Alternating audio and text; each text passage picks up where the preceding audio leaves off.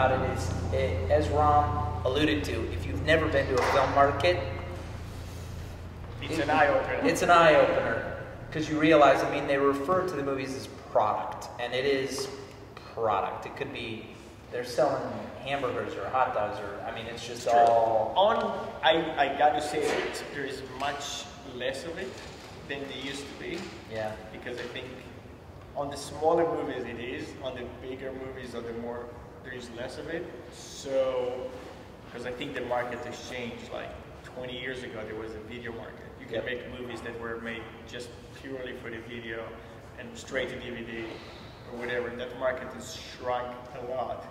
So today, the market is more like movies have to be theatrical.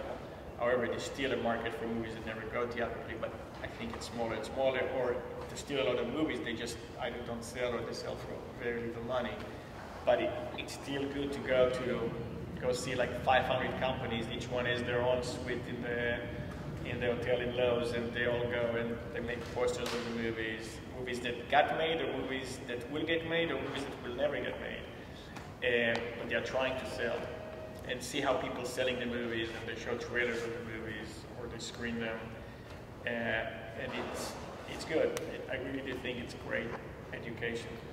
And the thing that I think is empowering about what you've done, and in a way, kind of, admittedly, this is a different time, but Ted Hope and did this as well. In the early days, him and uh, James Schamus, they became very close to those distributors, buyers that were abroad.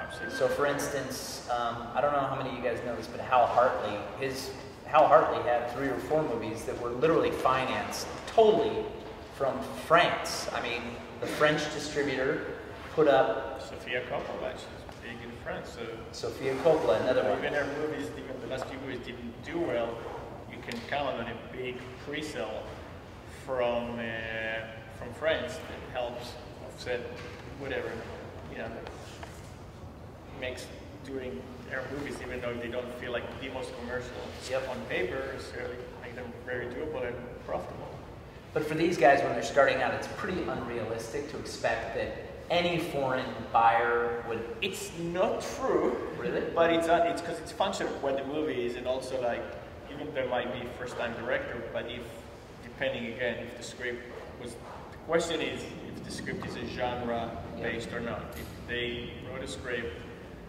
that was some sort of a genre based, and and somebody attached, that means that certain actor or an actress that add value and value in this business works on you know, I, I don't know how to explain, but certain actors have more value or less value in worldwide based on the box office and based on how their movies have performed.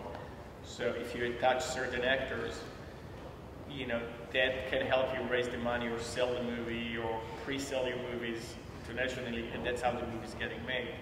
So, for example, if I go and make Looper and I say script with Rian, with Bruce Willis, Joseph Gordon-Levitt, and Emily Blunt, I can figure out that there's a certain value for pre-selling that movie, whether pre-selling or not.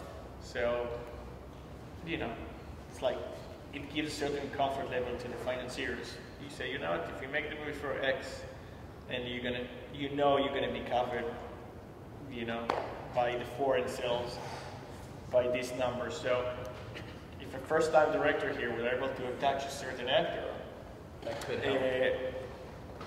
there's no reason he couldn't, you know, pre-sell, depending on who the actor, and depending on how much money they were trying to sell the movie for. Did you cobble together the financing on Looper? I thought it was a surely a no. Yeah, we, we basically, Looper was, I would say, 90% covered by, pre, by foreign pre-sales, Right. you know. But that's an unusual. And the rest, it's unusual. Unusual because It's not unusual, but it's unusual for, um, it's unusual for you guys, but it's not unusual on, big on studio. certain- Yeah. Again, it's a it's a great. People really love the script, which is a genre. You can still sell it as a genre movie. People love drawing, and people love the cast. You have Joseph Gordon-Levitt, who's really hot, and you have Emily and Bruce Willis, definitely has huge value in that genre, so you can see how you can sell it. But if I was going to try to make a movie at $50 million, then that's going to be much harder for me. Yeah. What made it really attractive is that we didn't make it relatively for a lot of money. Did, So, did you guys consider going out to just studios for an No. overall? No. not even. In the business, you know, for the, you know, for certain movies, in the business of making movies, not developing movies. Yeah. So the idea is, here's the script, let's build a cast, and let's go make the movie.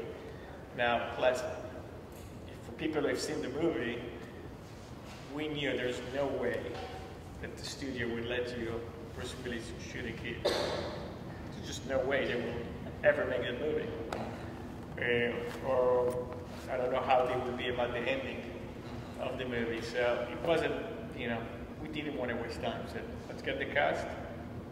We got the cast. A week later, I was you know, I was in Cannes Film Market, and literally in like three days, we sold that the entire world. Was one territory. The movie was financed. The whole, the whole thing, literally took like two weeks, and the movie was Financed. financed.